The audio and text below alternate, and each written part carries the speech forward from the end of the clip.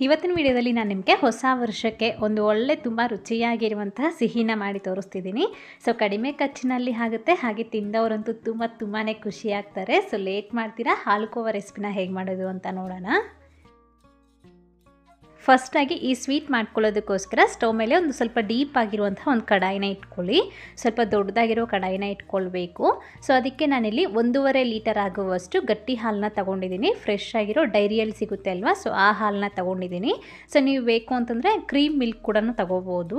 So ಈ ರೀತಿ ಹಾಲು ಹಾಕ್ಕೊಂಡಿದ್ದಾದಮೇಲೆ ಹೈ ಫ್ಲೇಮ್ನಲ್ಲಿ ಚೆನ್ನಾಗಿ ರೀತಿ ಮಿಕ್ಸ್ ಮಾಡ್ಕೊಳ್ತಾ ನಾವು ಇದನ್ನು ಕುದಿಸ್ಕೊಳ್ಬೇಕು. ಸೊ ಕೆನೆ ಅನ್ನೋದು ಕಡ್ತಾ ಇರುತ್ತೆ. ಸೊ ಆ ಕೆನೆನ ಹಾಲಿನಲ್ಲಿ ಮಿಕ್ಸ್ ಮಾಡ್ಕೊಳ್ತಾ ನಾವು ಇದನ್ನು ಕುದಿಸ್ಕೊಳ್ಬೇಕಾಗತ್ತೆ ಸೊ ಕೆನೆ ಜಾಸ್ತಿ ಕಟ್ಟದಿರ ಈ ರೀತಿ ಚೆನ್ನಾಗಿ ಮಿಕ್ಸ್ ಮಾಡ್ಕೊಳ್ತಾ ಹಾಲನ್ನ ಚೆನ್ನಾಗಿ ಕುದಿಸ್ಕೊಳ್ಳಿ ಹೈ ಫ್ಲೇಮ್ನಲ್ಲಿ ಸೊ ಒಂದು ಇಪ್ಪತ್ತು ನಿಮಿಷ ಆದಮೇಲೆ ಈ ರೀತಿ ನಮಗೆ ಹಾಲು ಸ್ವಲ್ಪ ಕಡಿಮೆ ಆಗ್ತಾ ಬರುತ್ತೆ.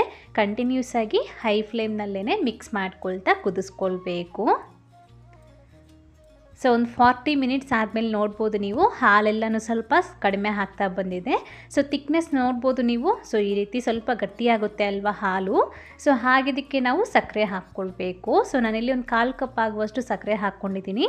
ಸೊ ನಿಮ್ಮ ಸ್ವೀಟಿಗೆ ತಗಾಗೆ ನೀವು ಸಕ್ಕರೆನ ಹಾಕ್ಕೊಳ್ಬೋದು. ಸೊ ಇದು ಕರೆಕ್ಟಾಗಿ ಸರಿ ಹೋಗುತ್ತೆ.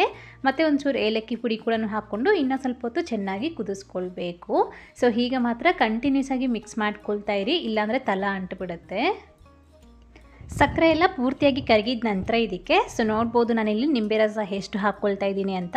ಸೊ ಇಷ್ಟೇ ಹಾಕ್ಕೊಳ್ಬೇಕಾಗತ್ತೆ, ಜಾಸ್ತಿ ಬೇಡ. ಸೊ ಇಷ್ಟು ಹಾಕೋದ್ರಿಂದ ನಮಗೆ ಈ ಹಾಲ್ಕೋವ್ ಅನ್ನೋದು ಚೆನ್ನಾಗಿ ರವೆ ರವೆ ರೀತಿ ಚೆನ್ನಾಗಿರುತ್ತೆ ತಿನ್ನಲಿಕ್ಕೆ ಸೊ ಈ ರೀತಿ ಸ್ವಲ್ಪ ಸ್ವಲ್ಪ ನಿಂಬೆ ರಸ ಕೂಡ ಹಾಕ್ಕೊಂಡು ಚೆನ್ನಾಗಿ ಮಿಕ್ಸ್ ಮಾಡ್ಕೊಳ್ಳಿ. ಸೊ ಚೆನ್ನಾಗಿ ಕುದಿಸ್ಕೊಳ್ತಾ ಇರಬೇಕು. ಹೈ ಫ್ಲೇಮ್ನಲ್ಲೇ ಪೂರ್ತಿಯಾಗಿ ಕಂಟಿನ್ಯೂಸ್ ಆಗಿ ಮಿಕ್ಸ್ ಮಾಡ್ಕೊಳ್ತಾ ಮಾಡಿಕೊಂಡ್ರೆ ಟೇಸ್ಟ್ ಕೂಡ ಅಷ್ಟೇ ಚೆನ್ನಾಗಿರುತ್ತೆ. ಸೊ ಮತ್ತೆ ನೋಡಿ ಇದನ್ನು ಈ ರೀತಿ ಈ ಕನ್ಸಿಸ್ಟೆನ್ಸಿ ಬರೋ ತನಕ ನಾವು ಇದನ್ನು ಚೆನ್ನಾಗಿ ಕುದಿಸ್ಕೊಳ್ಬೇಕಾಗತ್ತೆ. ಸೊ ನೋ, ನೀವು ನೋಡ್ಬೋದು ತಿಕ್ನೆಸ್ ಅನ್ನೋದು ನಮಗೆ ಯಾವ ರೀತಿ ಇದೆ ಅಂತ. ಸೊ ಈ ರೀತಿ ಇಷ್ಟು ಮಾತ್ರ ಗಟ್ಟಿಯಾದ ನಂತರ ಸ್ಟವ್ನ ಆಫ್ ಮಾಡ್ಕೊಂಬಿಟ್ಟು ಇದನ್ನ ಎತ್ಕೊಂಡು ಒಂದು ಅಗಲುಕ್ಕಿರೋ ಒಂದು ಪ್ಲೇಟಿಗೆ ಹಾಕ್ಕೊಂಡು ಅಗಲುಕ್ಕೆ ಇದನ್ನ ಸ್ಪ್ರೆಡ್ ಮಾಡ್ಕೊಂಬಿಟ್ಟು ಪೂರ್ತಿಯಾಗಿ ತಣ್ಣಗಾಗೋ ತನಕ ಹಾಗೆ ಬಿಟ್ಬಿಡಬೇಕು. ಅಟ್ಲೀಸ್ಟ್ ಒಂದು ಟೂ ಅವರ್ಸ್ ಆದರೂ ಇದನ್ನ ಹಾಗೆ ಬಿಟ್ಬಿಡಿ. ಒಂದು ಎರಡು ಅವರ್ ಬಿಟ್ಟಿದ್ದಾದಮೇಲೆ ಇದನ್ನು ಈ ರೀತಿ ಸ್ಪೂನ್ನಲ್ಲಿ ತಗೊಂಡು ಸರ್ವ್ ಮಾಡ್ಕೊಳ್ಳಿ. ಒಳ್ಳೆ ಸೂಪರಾಗಿರುತ್ತೆ ಟೇಸ್ಟ್ ಮಾತ್ರ.